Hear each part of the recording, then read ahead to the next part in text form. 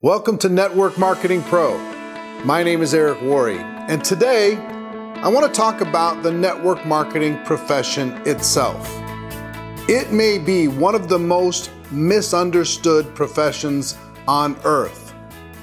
People around the world have their opinions about it, they have their misperceptions about it. There's a lot of myths rolling around about the network marketing profession. People think only the people at the top make money. People think most people don't earn anything. People think that all, all different kinds of things. They think you have to jeopardize relationships in order to be successful in the business. They think it's not a real business. Even though this profession does over $180 billion a year in retail sales. Even though approximately 100 million people are involved in the network marketing profession around the world, even though approximately $200 million US is paid out every single day in commissions in this great profession. Even though those facts are out there, there's a lot of misconceptions. There's a lot of misplaced uh, perceptions in the world. And today, my message is a little bit different than what you might think. A lot of people get frustrated and say, well, people just need to understand. People need to wake up. People need to stop being a part of the matrix and understand what's going the realities of the new economy. And that's all true. Yes, people do need to do that. But I think the network marketing profession needs to look at itself and it needs to get better. This is this message today is a little bit of, of a wake-up call to the network marketing profession. Now, why do I say that? I think a lot of the perceptions are self-created. I think people involved in the network marketing profession, and I've been involved and around the profession for many, many years, and I'm guilty of it too. Sometimes the perceptions are created by the way we present the products or the opportunity to the world.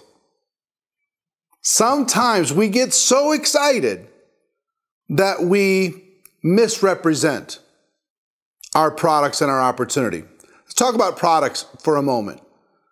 Some companies have products that are involved in healthcare. Some products are, involved in weight loss. Some are involved in nutrition or different kinds of things that will, will improve the quality of somebody's life. And that's all true. They, they will, they can improve the quality of someone's life. But people get so excited that they start throwing around big language that they can't substantiate. They throw around language like this product will cure this. This product is guaranteed to create this result. This product is guaranteed to create that result. There's so much hype. It's a miracle cure. It's a miracle product. It's a miracle this. It's a miracle that. And they have no substantiation behind that claim. They just heard somebody else say it so they say it, and then the next person starts saying it. And guess how much credibility that gives the network marketing profession? Less and less and less.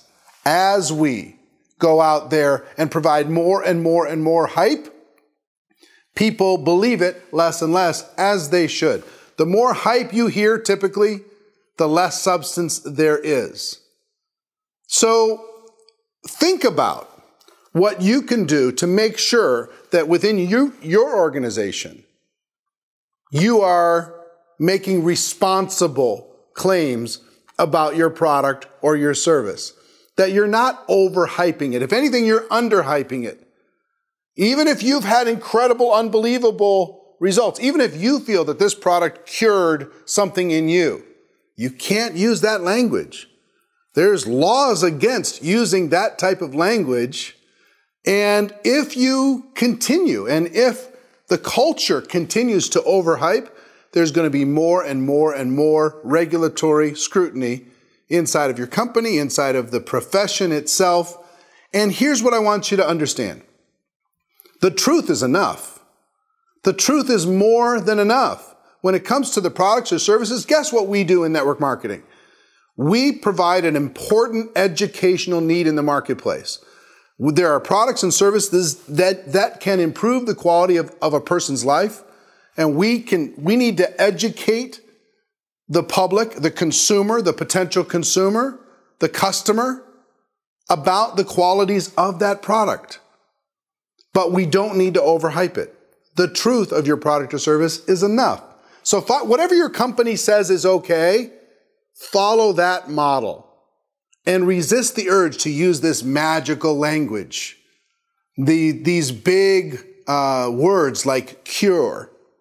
You don't want to use cure. You don't want to use guaranteed to provide X result.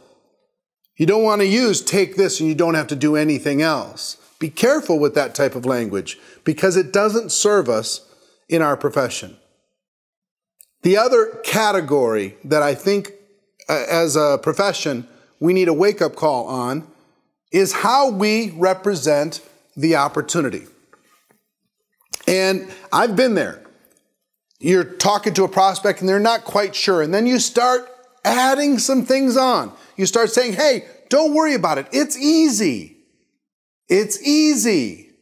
Just come in and the company takes care of this and there's all this support here. It's easy. Everybody's having success. Be careful with that language because here's the truth. If you're going to be an entrepreneur, is there such a thing as an easy path for an entrepreneur? I don't think there is. Now, certainly there are benefits. I believe network marketing is a better way. If you have an entrepreneurial bone in your body, network marketing is a better way than other entrepreneurial paths that you can take. There's more support here than starting your own business in practically any other form, but it's certainly not easy. It's challenging, it's tough. Uh, many people decide after they get started that, guess what, they, they're not willing to put in the work. You know why there's such a big drop off rate in network marketing from the people who join and decide not to continue to build? Because they were told that it was a piece of cake. They were told that you, you hardly have to work at all. They were told that you don't have to sell anything. The product sells itself.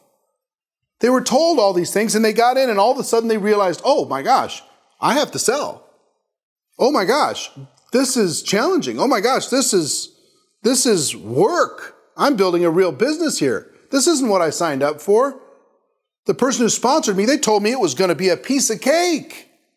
And when it isn't a piece of cake, when it becomes a challenge, then they decide to leave. See, it's not easy, but it's worth it.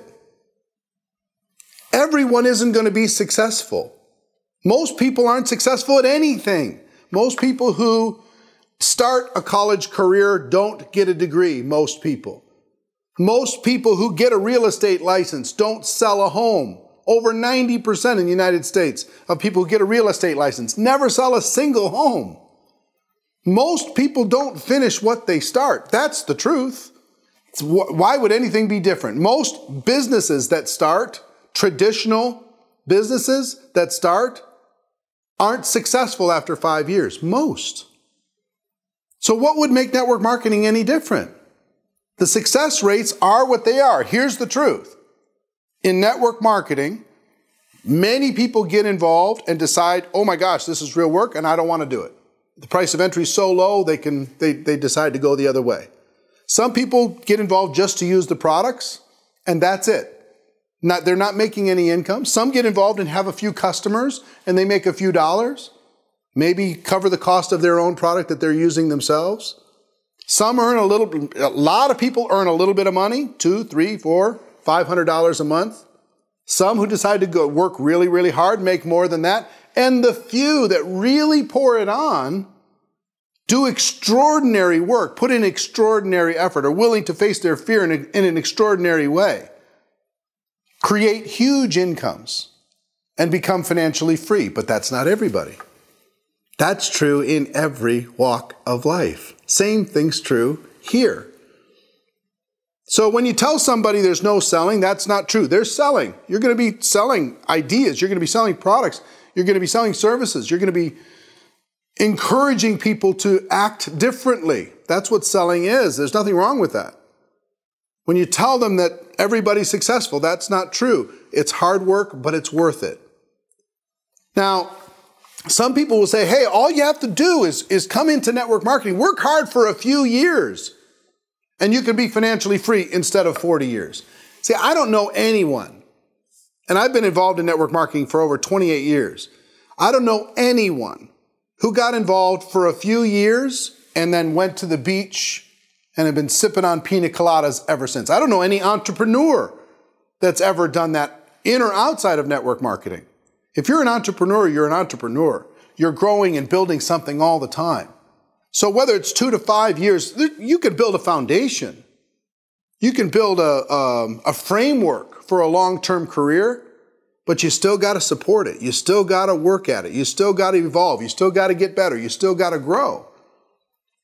What, we're, what I think network marketing is saying is your next 40 years can be much better. The, the quality of your life can be much better than a 40 year career for some people, a 40 year career doing something that you don't enjoy. So, all of this kind of leads to this phrase that comes over and over in my mind all the time. And that's this network marketing isn't easy but it's better. Network marketing, uh, everybody doesn't succeed in network marketing. But if you decide that you want to do something with your life, it'll give you an opportunity without limits. Network marketing requires selling, but so does any significant position in business. It requires selling. Selling makes the world go round. So, if you misrepresent the product or the opportunity, I believe you're your future is limited because people will constantly have an expectation that cannot be met and they'll be constantly disappointed with you. If you set an expectation that, hey, it's hard, but it's worth it. Hey, our products are valuable, but they're not magical cures. Then people are going to respect you more. If you go back 30 years, franchising was a dirty word. And you know why it was a dirty word? Because it wasn't regulated. People were saying, hey, join my franchise. And all you have to do is you invest this money and we're going to send you unlimited number of customers. You never have to worry about customers. We'll take care of it and you're going to be financially free. And people got involved and they didn't get the customers. And they weren't financially free. You, you sign up as, with a franchise with us and, and we provide all the systems and you don't have to worry about it. It's easy. Everybody succeeds. You don't have to sell. They would tell these things to people who were joining franchises. And that expectation couldn't be met, and everybody felt bad about the experience. But here's what happened the franchise model worked fine, just the expectations were out of whack. What happened was the professionals came in, and if you wanted to, if you want to join a franchise today, you have to sign a stack of paperwork about this thick. And on every page is something like, I understand that I could lose my investment. I understand that this is a risk. I understand I could lose more than my investment. I understand this is my business. I'm going to be pro- provided support, but I'm not guaranteed any success. I agree. I understand. I agree. I understand. And then you write your check for 100, 200, 300, 500,000 dollars to start your business. Now, I'm not saying network marketing has to get to an inch and a half this thick of expectation management.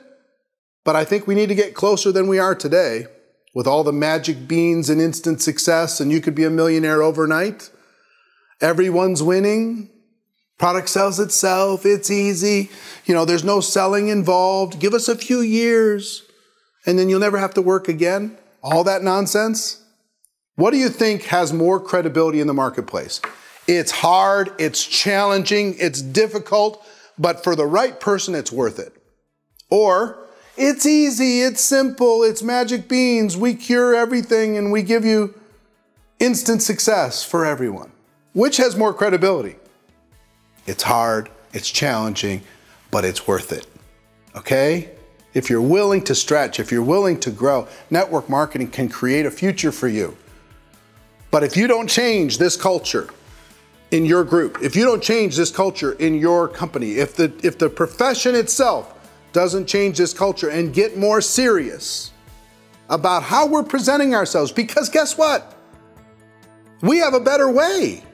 we're just packaging it like amateurs. We have a better way. The truth is enough. So, this, my message to you, said in love because I've been involved for a long time and I've, I'm guilty of all of these things. I'm just telling you the landscape today as I travel the world, we're 2% away from a tipping point, but the tipping point comes when we treat the product and service with respect and responsibility. And we treat how we represent the opportunity with respect and with responsibility. This is a network marketing wake up call, and I hope you're ready to hear it. That's our show for this week. I hope you got value. Ladies and gentlemen, my wish for all of you is that you decide to become network marketing professionals, that you decide to go pro because it is a stone cold fact that we do have a better way. Now let's go tell the world. Everybody have a great day, and I'll see you next time. Take care. Bye bye.